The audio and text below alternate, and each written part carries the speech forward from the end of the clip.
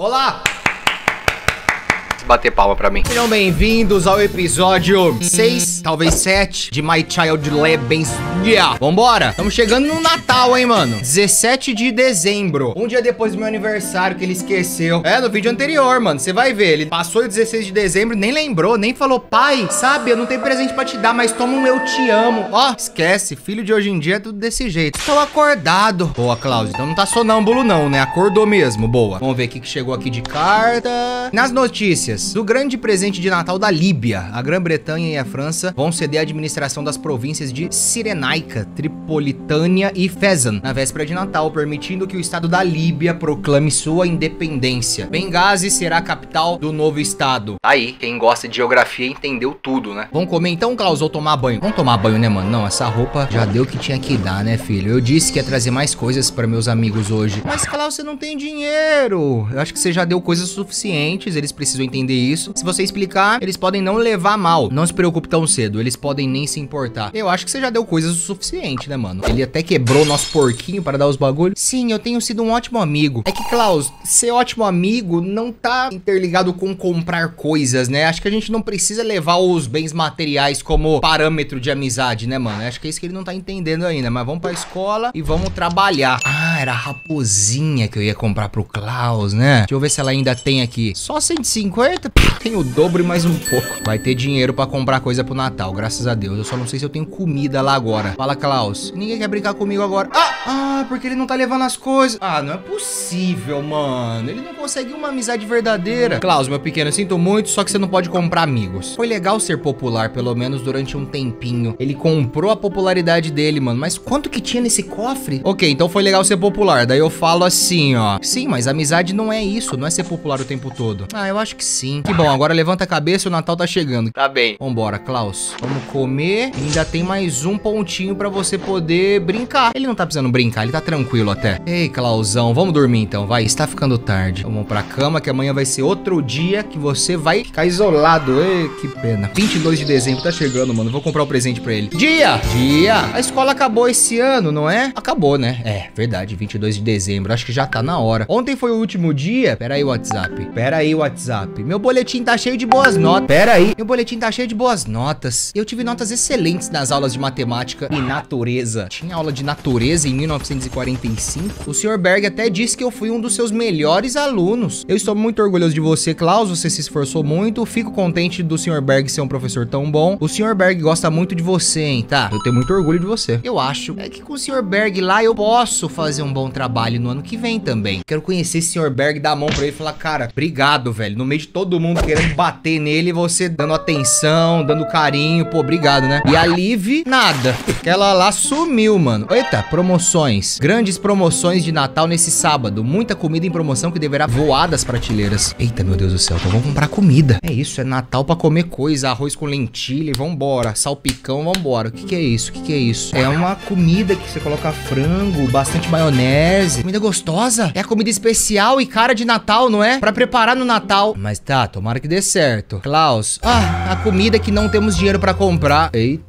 O otimismo até contagiou aqui o clima do vídeo, hein? Que isso, Klaus, vou trabalhar. Então não se preocupe, vamos ter dinheiro, eu prometo. Mesmo? É, aí já complicou. Ainda bem que eu nem precisei responder. Então, mano, aproveitando que a gente tem tempo... Ah, vamos ler. Siri Fijelvik. Ó, oh, ó. Oh, essa é a mãe dele, mano. É a mãe do Klaus. Eu sinto muito pelo tom duro que usei em minha última carta. Eu desejo tudo de bom pra criança, mas não posso ter qualquer contato. No entanto, você poderia tentar entrar em contato com meus pais em Hammerstad. Mano, essa mulher, ela tá em perigo, mano. Parece que ela não pode ter mais contato com o Klaus, mas quem que tá fazendo isso com ela? São os alemães, mas será que faz sentido isso, mano? Tipo, ah, depois que você teve o bebê, você não pode mais relar nele, porque agora ele é de responsabilidade dos nazistas. Toque para escrever. Senhor e senhora Fidjalvik, nos vimos pela última vez quando fui buscar seu neto há três anos. Sua filha disse que eu poderia apelar sua moral e pedir informações sobre a família alemã do Klaus. Por favor, façam essa gentileza ao Klaus e vocês irão ajudá-lo. Perfeito. Perfeito, mano. Caramba. É só isso que eu preciso saber, mano, do pai dele. A mãe a gente já sabe, que é essa Siri aí, ó. Agora o pai não. Se o pai foi bom, se o pai foi demônio, é isso que eu preciso saber. Outra carta. É permitir que alemães entrem aqui. 12 milhões de alemães votaram em Adolf Hitler, o maior criminoso já eleito, com maioria de votos. Agora que os trabalhadores noruegueses finalmente podem ganhar a vida, vamos permitir com que os alemães trabalhem aqui? Eu nunca vou esquecer ou perdoar. E é muito recente, né, mano? Faz sentido eles terem esse trauma. Eu nem julgo, mano. Eu não sei que eu faria, mas vamos comer mais um pouco com essa última coisa aqui. Dá pra eu comprar comida, mano? Não. Ah, vou comprar pro Klaus, mano. Será que eu já compro hoje de Natal? Mas aí não vai ter comida boa, mano. Nossa, nossa ceia vai ser pão com pepperoni. Você recebeu novos materiais de artesanato. Klaus, não vem aqui, tá? Ó, vai lavar o rosto lá, enquanto eu vou fazendo um negócio ali na cozinha. Não pode ver, beleza? Eita, mas ele tá aqui. Ô, Klaus, você não pode ver, Klaus. Puta, faz de conta que ele não viu. Tava prestando atenção em outra coisa. Vamos então fazer o agora? Trabalho só. Ah, então beleza. Eu vou ter dinheiro sim daqui uns dois, três dias pra comprar coisa de Natal. Queria fazer uma hora extra hoje, hein, mano, pra guardar dinheiro, mas tá. Beleza, Klaus? Tá de boa? Vamos dar mais uma limpadinha aqui e vamos comer, mano. Então a gente vai fazer um crochêzinho antes. Ó, ele não percebeu ainda, hein? Eu sou discreto.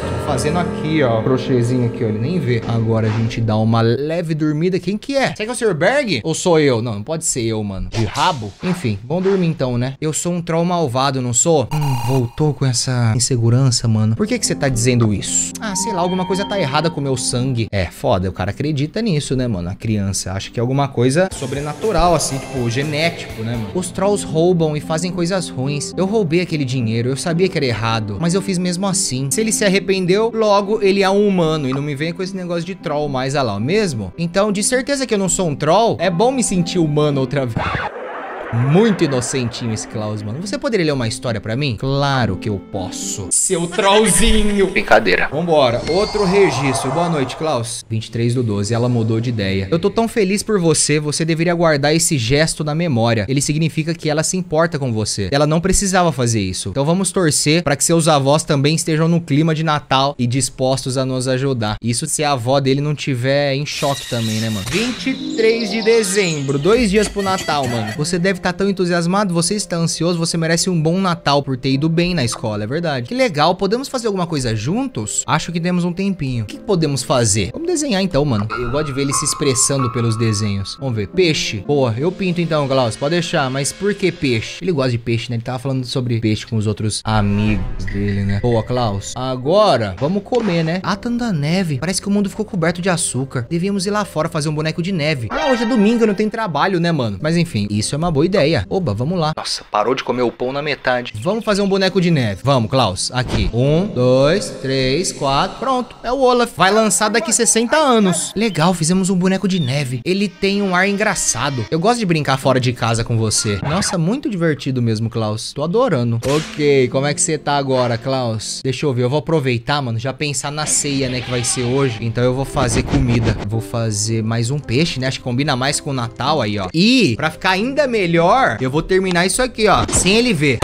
Que, que é? Não, Klaus! Ai, não era pra te dar agora, era pra te dar meia-noite, mas tá. É um presente, você vai ter que esperar, tipo, até o Natal. Opa! Um segredo. Brincar lá fora foi legal. Nós já esqueceu do segredo já. Você pensa que vamos alguma vez encontrar meus pais? Acabamos de receber uma carta da sua mãe. Ah, só espera até você ser mais velho. Sabe o que mais? Você tá melhor dar. Acabamos de receber uma carta. Mesmo? O que, que ela disse? Ela vem pro Natal? Putz. Não, aqui acho que eu vou ter que falar real, mano. Bem, não, ela disse que não quer fazer parte da sua vida. Não, peraí. Eu não vou falar isso também no dia do Natal, né? Ela disse que sente sua falta e gostaria de estar com você. Não, mas aí eu estaria mentindo. Isso não vai ser possível, mas é melhor assim. É melhor falar isso aqui. Ah, ela mencionou outros parentes que poderíamos contatar, no entanto. Ah, tá bem? Nossa, então nós não precisamos dela. Então tá, você que tá falando aí, né, mano? É sua mãe, Klaus. Você pode ler pra mim aquela história que eu gosto? Ai, meu Deus do céu, Natal! Hoje não! Ah, porra, é verdade, era dia 23. Nossa, eu tô moscando. Mano. Beleza, Feliz Natal, Klaus. O que, que você quer fazer hoje? Vamos dar pelo menos um dia de opção pro menino? Falar, ó, o que, que você quer fazer? Ah, podemos ter um dia bem legal, mesmo sem dinheiro. Podemos nos divertir com aquilo que já temos. Vambora. Vamos então começar com uma alimentação básica, tipo isso aqui, ó, um peixinho gostoso. Guarda um pouquinho de fome pra depois. E agora, vamos trocar de roupa, colocar aqui, ó, vermelho. É, você recebeu novos materiais de artesanato. Devemos fazer a casa ficar mais bonita. Olha, vai ter decoração de Natal, mano. É, que tal você ir brincar? Eu faço alguma coisa bonita, eu posso fazer as decorações mais difíceis difíceis, você pode fazer um belo desenho. Sei lá, pode fazer o que você quiser. Eu vou só falar que eu vou fazer as coisas mais difíceis. Eu consigo fazer as coisas difíceis também. Klaus, calma. Não era uma ofensa isso, Klaus. Eu vou fazer um desenho muito bom. Eu vou estar na sala quando você terminar. Beleza, fazer os preparativos de Natal aqui, mano. Perfeito. O que, que a gente faz? É Natal é festa junina? Oba, você fez coisas de papel. Vamos buscar a árvore e decorá-la.